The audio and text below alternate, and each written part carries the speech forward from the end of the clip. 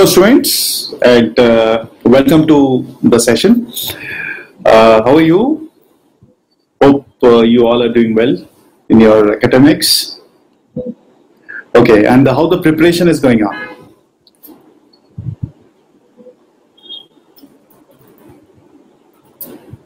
Great, great, good. You know, it's it's always good to have a planned uh, preparation and uh, you should uh, plan your day which is very very important right? You should you know check out your uh, weaker points where you know you need to work on right? So that is very very important. Okay. So uh, today uh, my dear students will be discussing a topic arithmetic progression. And uh, the theory part of this arithmetic progression I will be discussing first. If you have any query on that part, you can ask me. Followed by a problem from your side. If you have any queries from the in-chapter exercise or illustrations from the you know module which uh, we are giving to you. So uh, uh, we'll, we'll, we'll take step by step, right? So first of all, we'll discuss uh, the theoretical part of arithmetic progression. So first of all, let us understand what is uh, arithmetic progression, right? So generally, uh, you know, the arithmetic progression is what? So let us take an example, 2, 4, 6, 8, right? So you can see here, there's a, a common difference there, right? Which is 4, 4 minus 2, right? There's a common difference. So this is 2. We have a common difference, which is 6 minus 4, which is again 2, right? We have d which is 8 minus 4 which is 2 so whenever there is a sequence where common difference is same we say that this is an AP so this is an arithmetic sequence or this is an arithmetic progression right? Now my next question the next theoretical part which we are going to discuss is how to add all the terms which are in AP say if I have first term as A second term is a plus d you know these are all the terms which are in which are in which are in ap right? So this is how it goes. Now there are two forms. One is n upon 2 right? A plus you know an that is we can write it this way also. N by 2 the first term plus the last term. Okay? Right. This is how we write it. Or we can write it as n upon 2. Right? n upon 2 twice a plus n minus 1 times d. So you can see here there are two forms. One is n by 2, first term plus last term, and the second form is this. Now theoretically when you use this particular formulas, both the formulas in a particular arithmetic expression, we generally get the sum. So I hope this particular theory is clear to you. If you have any doubts, Nitikya, you can ask me. Students. Okay, I need to explain the difference between the two forms again, right? I need to explain it, isn't it? Okay, I will explain you. Don't worry, I will explain you, right? See students, what happens? You know, this is the first term, right? This is the first term, isn't it? And the last term is the nth term. nth term is what? an is equal to a plus n minus 1 times d. Isn't it? This is what we know. nth term. So what I do? I substitute a plus n minus 1 times d. Okay. So a plus a is nothing but twice a plus this is n minus 1 times d. Right? This is how I write it. So you can see that. So this is how it we derive. I hope this is clear. Okay, great, great. Very nice. Okay. Now, if you have any queries, you can ask me from the module. If you have any queries, you can ask me. Yes.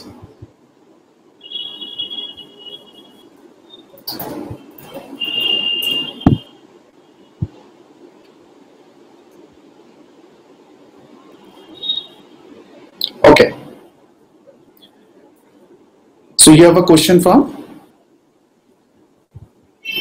illustration line? Okay, right. Okay, let me let me give you the right to speak first.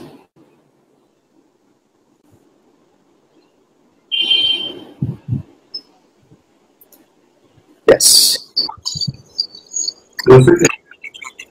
Yes, I can.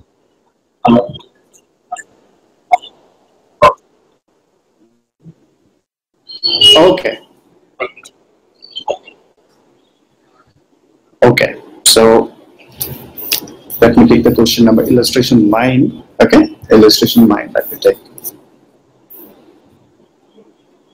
I think this is the question you have, right? Illustration 9. Is it? How many terms of the series 24, 20, 16? Is it? Total 72. Let me take the question first. You know, you can see that. Uh, I've taken in the third slide, the third page, illustration 9. How many terms of the series 24, 20, 16, you know, total 72. So uh, first of all, you know, you need to check uh, whether it is an AP or not. This is a very important thing. So let me check whether it is an AP. 20 minus 24, is it? It is minus 4, right. 16 minus 20, okay, which is minus 4. This is an AP, okay, this is an AP. So we have A is equal to 24. We have D is equal to, you know, minus 4, as I have told you. How many terms that totals? When you say totals, this is a very important thing, totals. This means we are talking about the sum part, right? So that means we know the formula for sum. Okay, let me write the sum formula n by 2 twice a plus n minus 1 times d. Okay.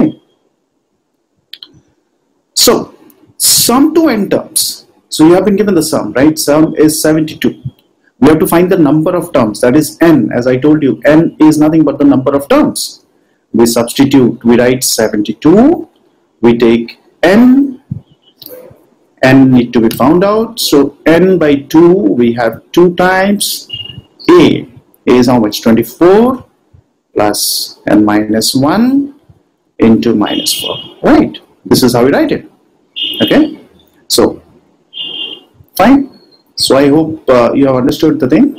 Yeah, I have how I have substituted, right? So 72. So 72 we can cross multiply. We can write it as n times 48 minus 4n plus 4 equals to, you know, 144, right? So we can take it, uh, you know, forward now. We can write 48 plus 4. This is 52 minus 4n, right? which is 144 I can write it as minus 4n square plus 52n is equal to 144 right you can see the steps huh? so I'm just writing the steps again this is the step number one I have taken all those uh, step number one I have introduced the formula step number two. I have written I've substituted all the possible things given to us and we get a quadratic equation which is coming out to be 4n square minus 52n okay plus 144 so we can solve this quadratic equation.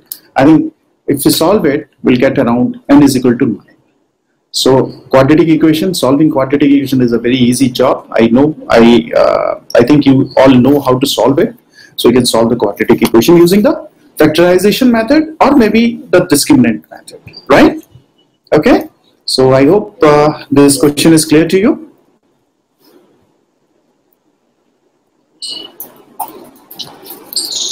Great, great.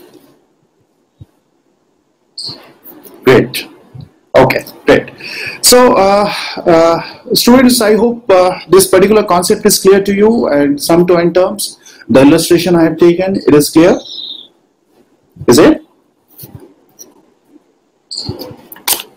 Great, great, great, great. Okay, so uh, uh, you know, once we do the uh, theory part and we have taken one example also, we have taken your query also. Let, let me give you a problem.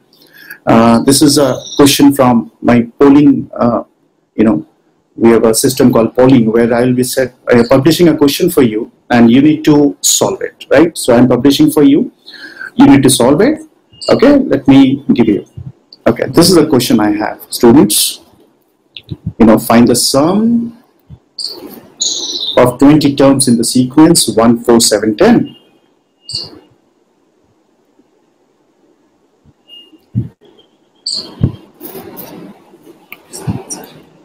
Okay, right.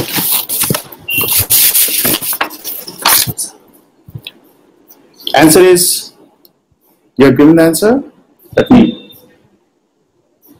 Option 2. Okay, okay. I think the answer is 590, so you can just check it out. The option is A is correct, not 580. Maybe you have done some calculation mistake, you need to work on that. Okay? No issues. Fine? So it's a very, very careful about the calculation part, Nitikya, because you know the calculation plays a very vital role. and You have very less time in your examination, you know.